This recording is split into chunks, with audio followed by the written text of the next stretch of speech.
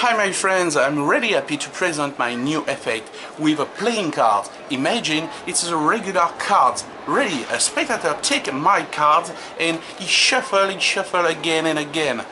And he cut because it's a regular card. I have a one card, one prediction. It is a blue back.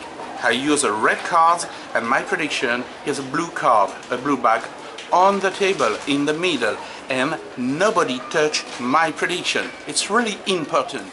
You remember my prediction on the table in the middle and the spectator can shuffle my playing card. He shuffle, he cuts, uh, he, he can examine because it's a regular card. When the spectator finish, I put the card into the box like that and now no move is possible.